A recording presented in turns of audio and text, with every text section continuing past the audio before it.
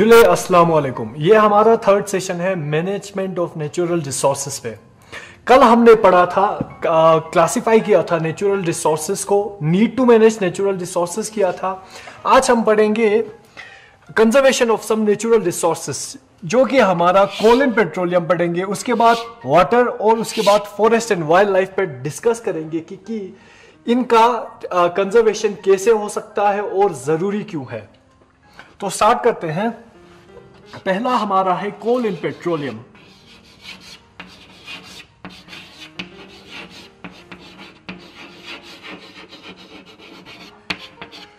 कोल इन petroleum ये हमारा fossil fuels है. फॉसिल मींस जो डेड रिमेन्स होते हैं प्लांट्स एनिमल्स के, उसको ज़मीन के अंदर जब, इसका फॉर्मेशन बता देता हूँ मैं.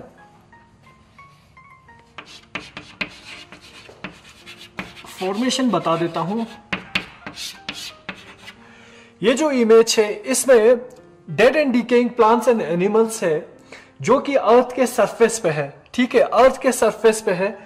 विद टाइम क्या होता है कि ये earth sand and silt deposit हो जाता है और ये सब सरफेस में आ जाते हैं अर्थ के सब सरफेस में। और आहिस्ते आहिस्ते ऐसा टाइम भी आ जाता है जब वो ज़मीन के अंदर हो जा ज़मीन के अंदर चले जाते हैं। अब high temperature and high pressure की वजह से ये जो dead and decaying organic matters है organic matters means plants and animals है, ये आहिस्ता आहिस्ता फॉर्म हो जाते हैं कोल एंड पेट्रोलियम में। ठीक है, अब ये हो गया फॉर्मेशन अब देख लीजिए, ये फॉर्मेशन में मिलियंस ऑफ़ ईयर्स लगता है।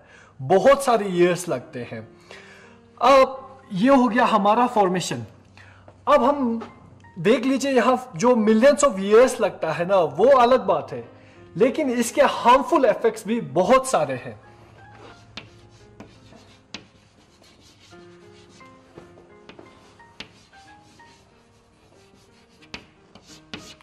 हार्मफुल इफेक्ट्स क्या क्या है? जो हम कोल एंड पेट्रोलियम का इंडस्ट्री कार्स और बाकी सारे चीज़ों में एनर्जी जनरेट करने के लिए जो यूज़ करते हैं, उससे हमारे इन्वायरमेंट बहुत सारे गैसेस ये प्रोड्यूस करते हैं। जैसे कार्बन मोनोऑक्साइड हो गया कार्बन डाइऑक्साइड हो गया सल्फ़र डाइऑक्साइड और बहुत सारे हार्मफुल गैसेस ये गैसेस इन्वायरमेंट को पोल्यूट करते हैं।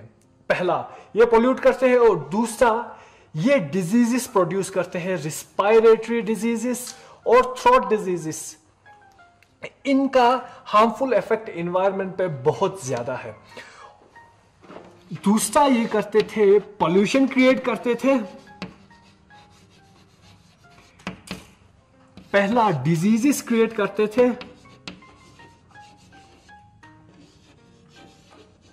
रिस्पायरेटरी डिजीजेस और थ्रोट डिजीजेस मेनली ये डिजीजेस प्रोड्यूस करते हैं।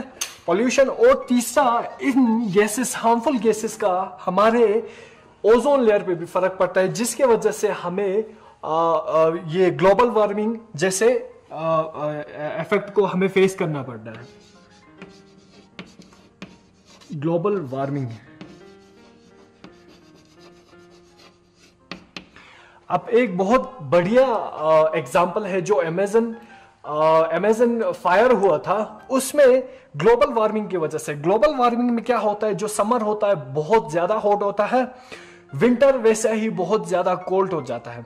जो फॉरेस्ट था, अमेजन फॉरेस्ट, क्लाइमेटिक चेंज की वजह से, ये जो गैसेस है, उनके वजह से ग्लोबल वार्मिंग हुआ था। वार्मिंग की वजह से उन जंगलों में आग लगना शुरू हो जाता है और ये केसेस बहुत सारे जगहों पे देखने को मिल रहा है।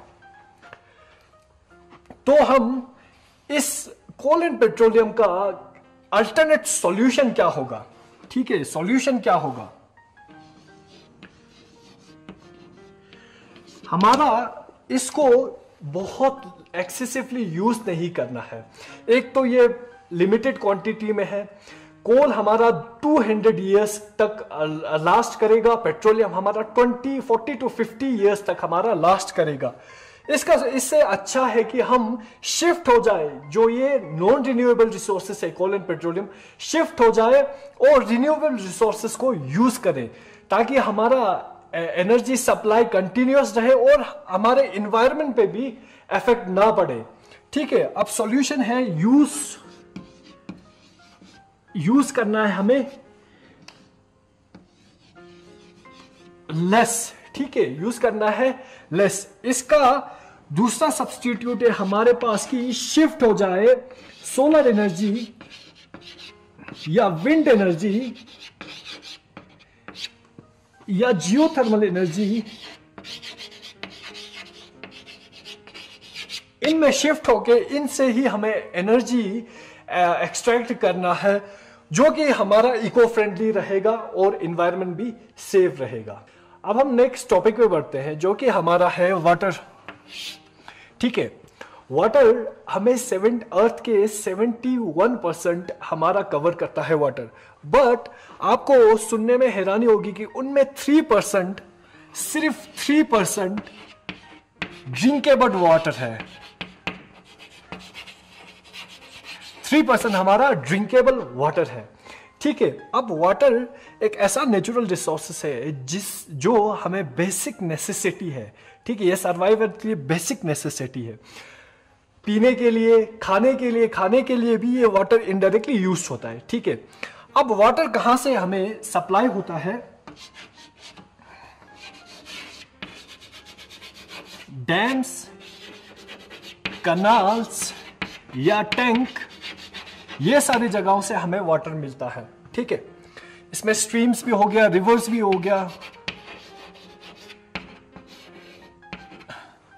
अब वाटर का दो जगह यूज़ होता है मेन बेसिक नेसेसिटी हम पीने के लिए, दूसरा इरिगेशन के लिए। ठीक है, जहाँ पे हम crops and crops and production में यूज़ करते हैं वाटर और तीसरा हमारा होता है इलेक्ट्रिसिटी प्रोड्यूस करने में, जो कि हमारा डैम्स के थ्रू होता है।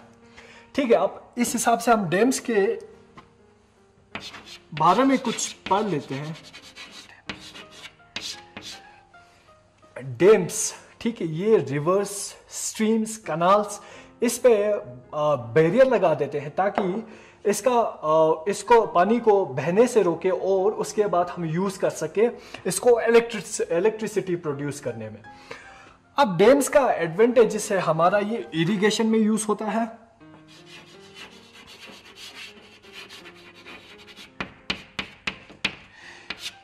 इरिगेशन में यूज़ होता है वाटर सप्लाई करता है ये to urban areas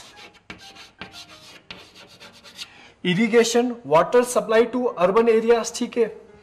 और तीसरा हमारा यूज़ होता है to generate electricity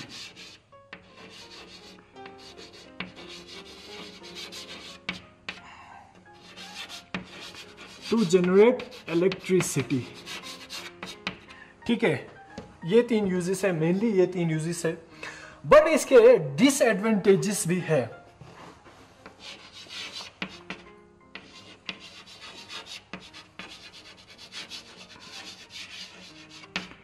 इसका डिसएडवांटेज पहला है हमारा सोशल प्रॉब्लम होता है।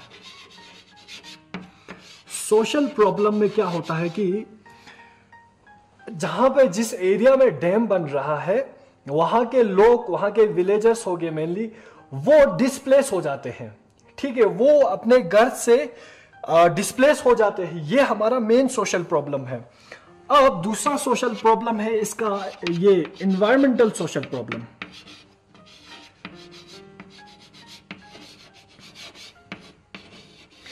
और तीसरा है इसका इकोनॉमिकल प्रॉब्लम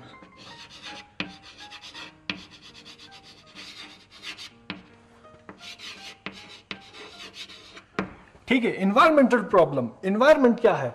जिस एरिया में ये डैम बनते हैं, वहाँ के हैबिटेट पे इफ़ेक्ट पड़ता है। वहाँ के वाइल्ड लाइफ वहाँ के फॉरेस्ट ठीक है, जानवर, परिंदे, पेड़, सब पे इफ़ेक्ट करता है।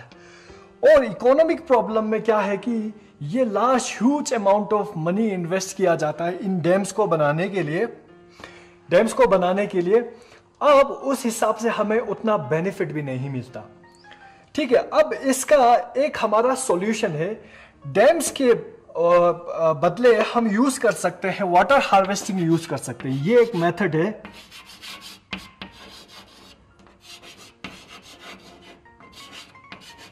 Water harvesting water harvesting water harvesting एक ऐसा मेथड है जिसमें हम कलेक्ट करते हैं वाटर को और स्टोर करते हैं। बेनिफिट के लिए, आगे अच्छे यूज़ के लिए, ठीक है? जैसे वाटर हार्वेस्टिंग में बहुत सारे मेथड है, ये हमारा ट्रेडिशनल मेथड है। इसमें क्या होता है कि ज्यूरिंग रेनफॉल जब पानी बहता रेनफॉल रेन होता है तो पानी यहाँ से बह जाता है, ठीक है? और यहाँ बैरियर बना देते हैं, यहाँ बैरियर बनाते हैं ताकि ये वाटर यहाँ पे कलेक्ट हो जाए। कलेक्ट हो जाए।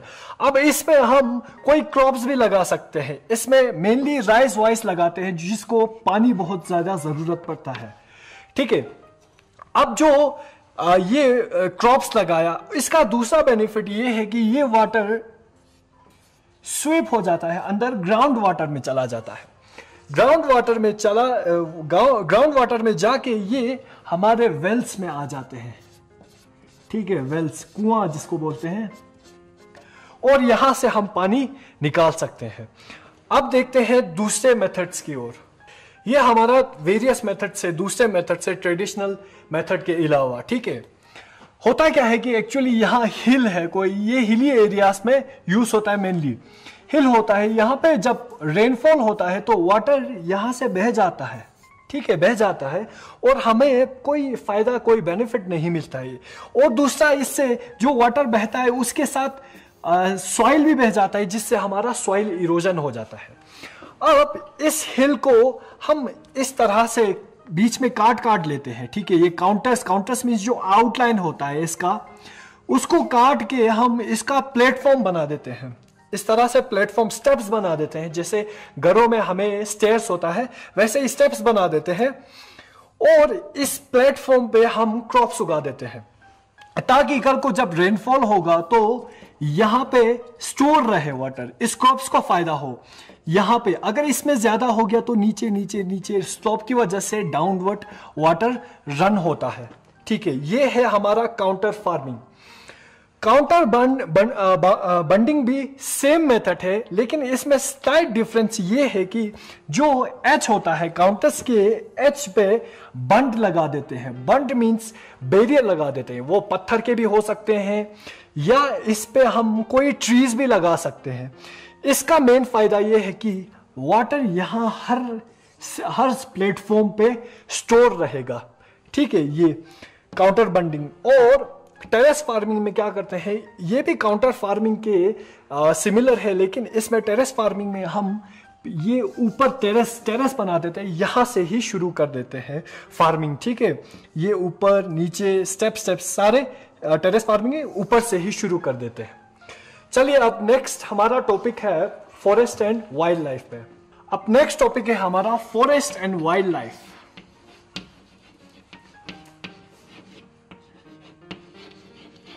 forest and wildlife ठीक है? पहले इन टर्म्स को समझ लीजिए। फॉरेस्ट मेनली डील करता है हमारे फ्लोरा के साथ, ठीक है? फ्लोरा में plants trees vegetation herb shrubs इसको डील करते हैं और वाइल्ड लाइफ में हमारा डील होता है मेनली एंड फोना के साथ। फोना में हमें इंसेक्ट्स बर्ड्स इसमें फंजाई भी आ जाता है जो कि माइक्रो ऑर्गेनिजम्स है और एनिमल्स ठीक है? ये सारे वाइल्ड लाइफ को डील वाइल्ड लाइफ डील करता है। मतलब इन सारों को वाइल्ड लाइफ बोलते हैं। अब आ जाते हैं। हमारा जो फॉरेस्ट है फॉरेस्ट ये हमारे वर्ल्ड 30 परसेंट हमारा अर्थ को कवर कवर करता है। थर्टी परसेंट कवर करता है हमारे अर्थ को। ठीक है, अब उसमें 1990 से लेके 2015 तक थ्री परसेंट रेट से फॉरेस्ट डिक्रीज हो रहे हैं। थ्री परसेंट रेट से फॉरेस्ट डिक्रीज हो रहे हैं। फॉरेस्ट को हम फॉरेस्ट को हम बायोडाइवर्सिटी हॉटस्पॉट बोल सकते हैं।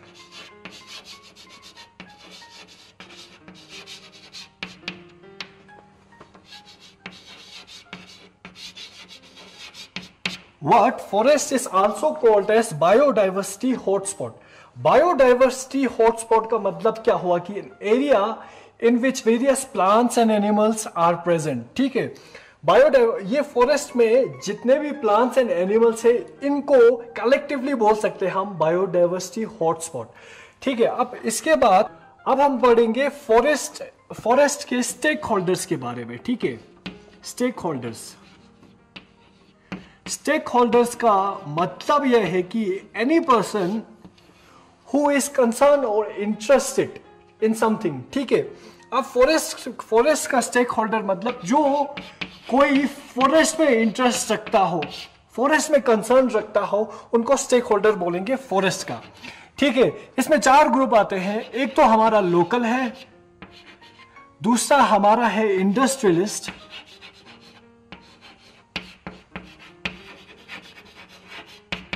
तीसरा है हमारा फॉरेस्ट डिपार्टमेंट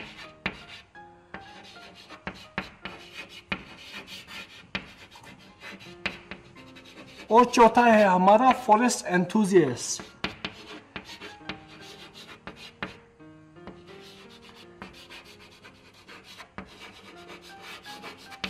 ठीक है। लोकल मतलब जो लोकल विलेजर्स होते हैं, वो फॉरेस्ट पे डिपेंड रहते हैं for their food wood for their grazing of cattles cattles को ग्रेज करने के लिए ये फॉरेस्ट पे डिपेंड रहते हैं। ठीक है इंडस्ट्रियलिस्ट इंडस्ट्रियलिस्ट जो इंडस्ट्री सेटअप करते हैं और वेरियस प्रोडक्ट्स यूज़ करते हैं फॉरेस्ट से रॉ मटेरियल लेते हैं और प्रोडक्ट्स बनाते थे, वो हो इंडस्ट्रियलिस्ट उसके बाद फॉरेस्ट डिपार्टमेंट फॉरेस्ट डिपार्टमेंट जो फॉरेस्ट को ओन करते हैं, जिसका फॉरेस्ट होता है और रिसोर्सेस को कंट्रोल करने के लिए ये फॉरेस्ट डिपार्टमेंट हेल्प करते हैं. और हमारा लास्ट पे है फॉरेस्ट एंथुजियास्ट फॉरेस्ट एंथुजियास्ट का आ, मतलब है वो जो फॉरेस्ट को कंजर्व करना चाहते हैं। जैसे हमारा सोशल एक्टिविस्ट हो गया ये सारे फॉरेस्ट एंथुजियस्ट पे आते हैं। अब हम आते हैं इसके कंजर्वेशन पे। फॉरेस्ट को कैसे कंजर्व करें? हम फॉरेस्ट को एक तो पहला स्टेप है कि डिफोरेस्टेशन कम करना है। डिफोरेस्टेशन कम करना है और इसके बदले हमें एफोरेस्टेशन करना है। ठीक है इसके बदले हमें एफोरेस्टेशन करना है। इंडिया में एक फेस्टिवल होता है, वन महाउत्सव करके, वन महाउत्सव करके जो फरवरी और जुलाई में होता है, इस फेस्टिवल में एफोरेस्टेशन होता है, मास स्केल पे एफोरेस्टेशन मतलब प्लांटेशन ऑफ़ ट्रीज होता है इस फेस्टिवल में। ठीक है, अब ये हो गया कंजर्वेशन। अब हमारा दूसरा कंजर्वेशन अब अगर हम कंजर्वेशन की बात करें तो यहाँ पे दो मूवमेंट हुए थे, ठीक है? एक तो हमारा Chipko movement Chipko movement nineteen seventies में हुआ था, जहाँ पे उत्तराखंड के लोगों ने प्लांट को हक किया था और कंजर्व किया था, जो काट रहे थे, उनको रोका था। ठीक है, ये चिपकू मूवमेंट और वैसा ही कुछ देखने को मिला हमें राजस्थान में, जहाँ पे अमृता देवी करके एक लड़की थी, औरत थी अमृता देवी करके एक औरत थी। उसने और उसके तीन बेटियों और 365 लोगों ने अपना जान दे दिया था for conservation of this forest को लेके, ठीक है?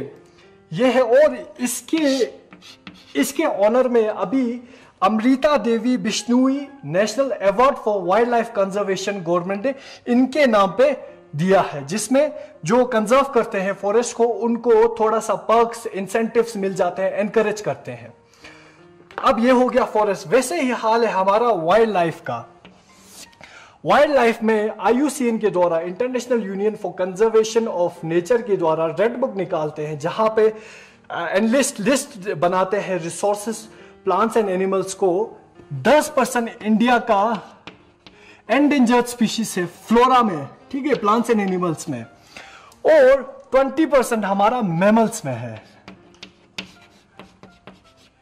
अब हमें ये भी शिकार है हंटिंग जैसे हंटिंग हो गया पोचिंग इन सारों का शिकार होते हैं। पोचिंग जहाँ पे इलीगली हंटिंग होता है, उसको पोचिंग कहते हैं। हंटिंग में गवर्नमेंट परमिशन दे देते हैं और पोचिंग में इलीगली हंटिंग होता है। इन सारों की वजह से जो फॉरेस्ट एंड वाइल्ड लाइफ है इन आ, इनको डिप्लीश इन इनका कंजर्वेशन नहीं हो रहा है इसलिए हमारे इन्वायरमेंट पे बहुत फ़र्क पड़ रहा है। यहाँ तक ही था। अब इस चैप्टर में हमने मेनली फोकस किया था कि अवेयर इसमें मेन हमारा मोटिव रहा कि अवेयरनेस करे नेचुरल इन्वायरमेंट को लेके ठीक है? और इसमें हमने मेथड्स भी निकाले फैक्टर्स भी निकाले, जिससे हम कंजर्व कर सकते हैं और जिससे हमारा ये conservation of some natural resources का सक्सेस हो। Thank you